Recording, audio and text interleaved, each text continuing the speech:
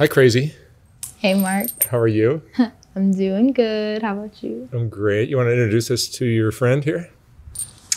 This is Scooter. Hey, Scooter. Hey, How are you? I'm all right. Doing Is your, good. is your boyfriend now crazy? we got together on Christmas. yeah. I approve of Scooter much more than your the last guy I found you with. That was just a road dog. Um, he Coyote. Coyote, crazy. Got some crazy stories to tell that guy. Uh, Yeah, I, I didn't I didn't feel good about let, letting you walk out the room with him, but you were with him. You came with him. You left with him. yeah. Um, Did you travel with him at all? I did. You know how he said um, he he's never done any drugs in his life, but he pushed them. Um, so I I smoked crack with him for his first time at the hop out, and uh, he was like, "I'm gonna have you. I'm gonna show you like the ropes how to ride the right way," and he. Uh, he's like i'm gonna toughen you up and he he ended up just breaking me down he uh made me choose all the rides and if i chose the wrong ride he- got mad um i took so from colton i finally got us a good ride and um um so we were going through uh, Arizona, and I'm like, we're like on a pig with wings, and I'm like, man, this is like boring. Um, and I had acid. Middle of the desert. Yeah, middle of the desert. And I'm like, I want to do acid. So me, I gave him a tab and I did a tab. That was my first time tripping on acid on the train.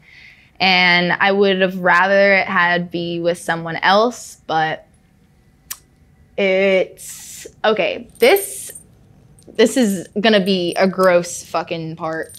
Um, so I was sitting on this pig with wings tripping, you know, and like I'm just looking at, you know, ev- like the scenery. And then um, I look over and he's like, look over there, look at that cloud. And then, and then uh, he's, and then uh, I look and then I'm, and he's like, oh, I just, fu- I, f- I busted a fat ass nut it went everywhere. And I was like grossed the fuck out. And I went back on my side and stayed there and was like, fuck. And you met Scooter. Christmas. Uh, you said Christmas. well, So, um, I was in Eugene, um, and I was trying to hop out, and so I like stumbled across her TikTok or something one day, and so I found her Instagram, uh, and I hit her up and was just asking like, "Hey, you ever hopped out of Eugene?" Uh, and she didn't, um, but I didn't even end up hopping out of Eugene. Um, this very, very kind woman uh, bought me an Amtrak ticket. Um, and so then I rode Amtrak uh, back to the East Coast, basically. Um, and then that whole Amtrak ride, I was just talking to her. We and then after that, it was just a daily thing over the phone. And I was always far. Um, you know, I work a lot. I try to. Um, so finally, I found a gig up in Tahoe, um, and then I was over it, and I hit her up and told her I'm coming down, and then we were together for a few days, and then got together on Christmas. That's like, great. Officially. and like my mom's birthday was Christmas Eve. Yeah. And we brought like a bunch of train Fucking kids, dirty kids. dirty kids to her house. was a. And it was funny. My mom's psycho. You should do an interview with her. no, you wouldn't be able to last a second. So Scooter, you uh, you grew up where? Uh, New York, um, about the 845 area, so like right above North Jersey. Mhm. Um, and then moved down to Bergen County. Uh, had a pretty normal childhood. Um, then I started doing drugs. Uh, and then dropped out of high school. Um, and then just kind of booked it to New York City. Um, and then whatever, was bumming it around, jumping on friends' couches, blah blah blah. Um, and then I found out about seasonal work and that kind of stuff. Started doing that a little bit, and then met some train kids one day, and they got me on a train. You like this lifestyle? I do. Um, you know, there's some very harsh realities that hit me uh, just this past year. A lot of dead friends and that kind of stuff. Um, but I wouldn't trade it for the world. You know, there's there's so much that I've seen and so much that I have yet to see and so much more to do. Um, I've met some of the coolest people ever. I met her. Um, you know, this this life is harsh, but um, it's freeing, and you know, I, it's that's it. It's freedom. How old are you? So 21, just turned 21, 21. on the 28th. You're a kid. Yeah, I am. Yeah, um, and that's you know I've been told like, oh, you're you're in for it. Like there's a lot that I've yet to experience myself, and you know I'm sure a lot worse is coming. Um, but I'm a I I can't stay in one spot anymore. I kind of start losing my mind a little bit, you know. Um, You too. and so, yeah, I don't ever see myself stopping uh, this kind of life. Um, but obviously, um, I do work and stuff. I do try and keep my brain, um, you know, secure. Uh, uh, but you know how it is. What, what, what is it about the train hopping lifestyle that appeals to you? Well, um, you know, I obviously have struggled with mental illness like my whole life. Um, you know, depression, anxiety, blah blah blah blah blah. Um, and I've been therapized my whole life. Um, and the second I started like moving around, uh, I was in the best place I've ever been. You know, I've gotten jumped, I've gotten robbed, I've almost gotten stabbed. I've, you know, there's a bunch of horrible things that have happened to me, but throughout all that, I've seen that I've just been happier, you know, um, more secure in myself and who I am When you're on the move, when I'm on the move. And when I'm on a train, there's, I can't even explain it. It's like zen. It's, it's, it's, there's, the, my brain is just, my mind is blank and I'm just enjoying the ride. And when I'm with people, it's amazing. We're all just, you know, we're all on the same wave. We're all kind of out here for the same reasons and stuff. And it's just been such an amazing, you know, time. I, I, I can't believe I didn't know about traveling, you know, in the past. how many states have you been to? Uh, basically everywhere but Alaska and Hawaii. Really? Um, I've skipped the Dakotas. I don't know many people 21 years old that have seen the entire country. Yeah, so that's you know that's the thing, and there's still so much I haven't seen like the Grand Canyon, and I haven't you know like I've blown through a bunch of these places, but I, you know, I got a lot of stuff I want to do and a lot of places I want to go back to. I loved Savannah, Georgia. It was like the best place I've ever been to. It's beautiful. The Oregon coast is uh, oh my god, like all of this. I grew up in you know the middle of nowhere, and it was like this. It's just everything's been so different. It's been amazing. It's a great country. It is. It's a beautiful country. Um, I mean, it's a beautiful country. I wouldn't put us at a great, you know, overall, but when it comes to the geographical stuff, it's it's unbeatable. Yeah. I mean, we have lots of problems too, but Right. You know, but when you're on a train, you're seeing stuff that is only possible by train or by plane or something. You know, like a lot of these rails are running through places that are completely untouched by man in the middle of nowhere. Like Just you and the conductor. Yeah, and then you'll side out somewhere, and it's just you're literally in the middle of nowhere. how, how do the train conductors or the train people feel about you guys stealing a ride? Some of them hate us. Some of them love us. That's the thing. Um, I've been I was given like hygiene packs and waters and cigarettes by like the UP guys. Um, but on the East Coast, the CSX yards and stuff, they're a little more um, on top of things. You know, like uh, I've never gotten pulled off a train, um, but I know people on the East Coast that have gotten you know like mandatory seven days and stuff like just for being in the yard, not even on a train. So, but most of them think it's kind of cool. And if you talk to them and you're not a dickhead, you know, and you're not wasted or something, um, most of them will tell you where the train's going and wave you goodbye, basically. What, would you like to be doing in, in like five, five or ten years with your life? Uh, hopefully, I'm still around. Um, I'm working real hard to stay off of everything that can kill me.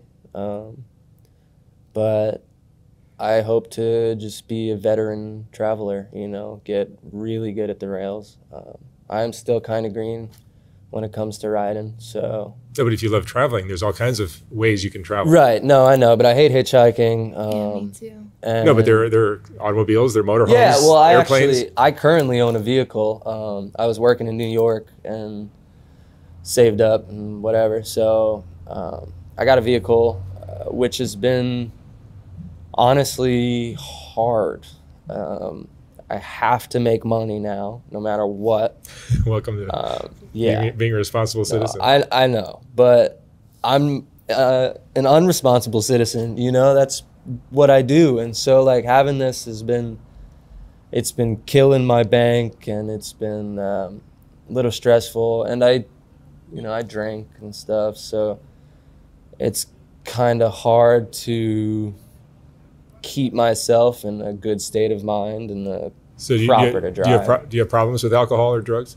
Um, with alcohol, yeah. Um, but I'm like a year clean off of opiates and stuff. Um, maybe a little more. I stopped counting. Um, but yeah, alcohol. I smoke a lot of weed. Um, and you know, I'll partake in some shit sometimes. But yeah, I do struggle with substance abuse. Just be careful with the fentanyl. Well, that's the opiates. Is a it's. I'm done with that. I'm good. Um, I've been off of it. I don't even think about it some Not, days. not that crack or meth are okay, but Right. Well, I mean, crack's crack. but but fentanyl, it's, a, it's like Look, I'm still on the crack tour for rah, bro. crack is crack is crack. I started using meth um, at the age of 12. Um, I didn't even know it was meth. I thought it was a weird way of smoking weed. Um, yeah. So I was hooked on that for a bit, and um, uh, yeah, uh, I've been clean for two years off that since I relapsed, at least, you know. Um, I hate meth. Um, but to each their own. I hate fentanyl. It's killed so many of my friends. Um, yeah. just the other, like, when was it, Tim?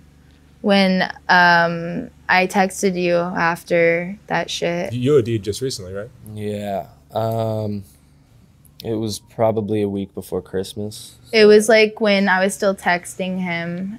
Um, so um, I was with, uh, I had a, a greenhorn with me, and um, I took her from.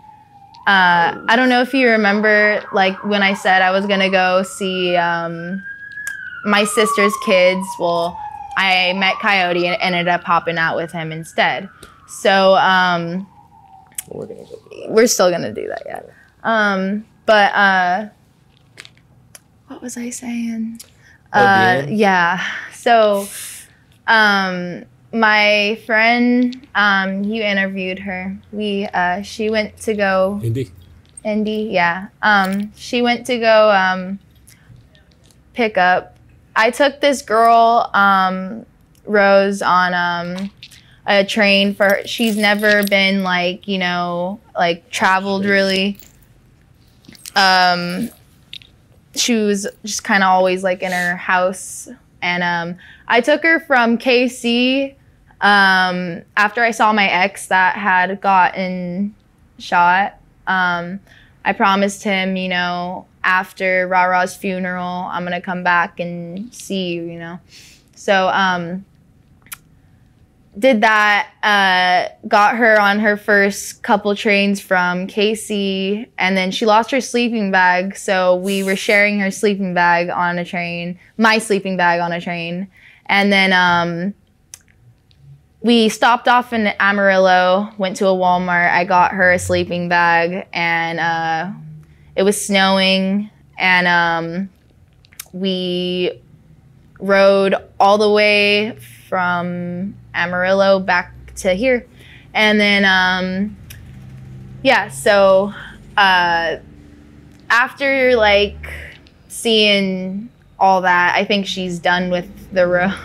So um, we were um, at MacArthur Park. She picked up um, some Fent, and um, I was like um, telling myself and Rose. And she was texting me saying that she feels like she's gonna be doing it, uh, and that's I was immediately concerned after that.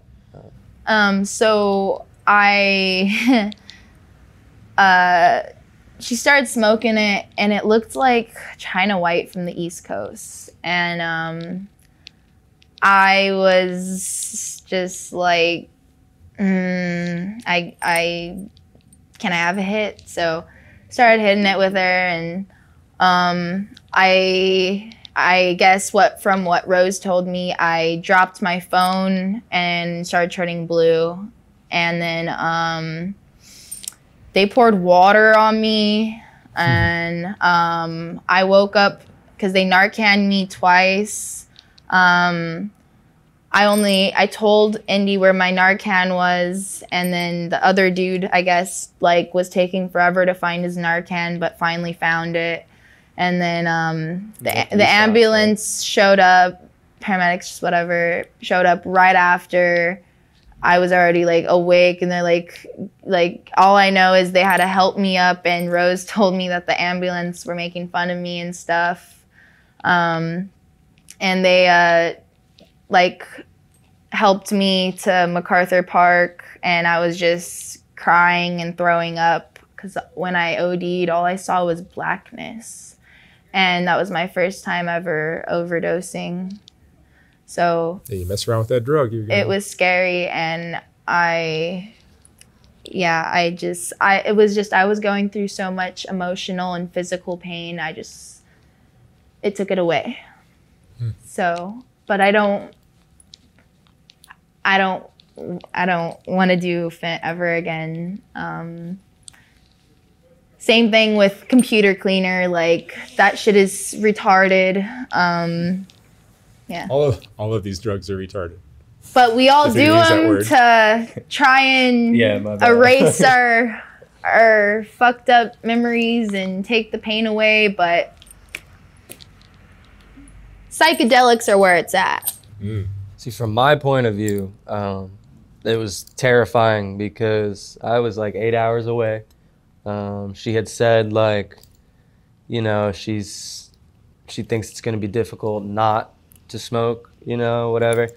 Um, and then all of a sudden, like she just stopped responding for like four hours. Um, and then, you know, I'm an anxious person, so I immediately assumed the worst. I thought she was dead in MacArthur Park. Um, Wouldn't that be the worst? You heard crazy fucking OD'd in MacArthur Park. How lame would that be? That's be? what I'm saying. So, like, fuck, and it it it was fucking with me, and then all of a sudden, like she just texts me, and she's like, "Yo, like, I just died," and I I had no idea what she meant, and then explained everything that was going on, and then just kind of acted like it didn't happen after that. We stopped talking about it, um, you know, because it is a real rough thing to go through. Um, I've had to Narcan people. It's Same. no joke. Um, Yeah, it's not a good life. yeah, yeah, no. Where, where do you guys go from here? What are your plans? So we're gonna go. I, have uh, some seizure. I've been taking seizure medications because I've been having a lot recently, and um, so I've got to do some like like uh, neurologist appointments and stuff like that um, before I leave. So that's gonna take a couple weeks, um, maybe a few, and then still dying to get out of here. But after that, we're gonna go to my sister's house, and then I think that's Go to Florida. Oof, Florida's rough. If you if, if It's 80 degrees in Florida. yeah, it's it's cool, but roughing it in Florida is a little dangerous. Really? Uh, oh yeah, I mean compared to you know uh, Florida, LA is tame, but it depends where you're at. You know, like just don't hang out in Miami. Or. I was about to say Miami. Yeah, no, just stay away from there. If you don't have like military training, uh, it's hard to camp it in, in Florida. Is that right? Yeah, it's just the weather, the rain, the boot rot. And, you know, it's Trench it's, yeah, it's, it's wet over there. So, but I really like Georgia. Uh, I like the southeast. It's you know I grew up on that coast. So, um, but I just once I get to like Savannah, I just start heading back up, and that's it. You know, Florida's for the rich folk. Hmm. All right. Crazy. Scooter, thank you so much for stopping by. Thank you, I'm glad you're both okay. I hope you guys have a f- wonderful future ahead of you. Thank you. I All right, you guys. Thank you very much. So too. Be careful out there. We will.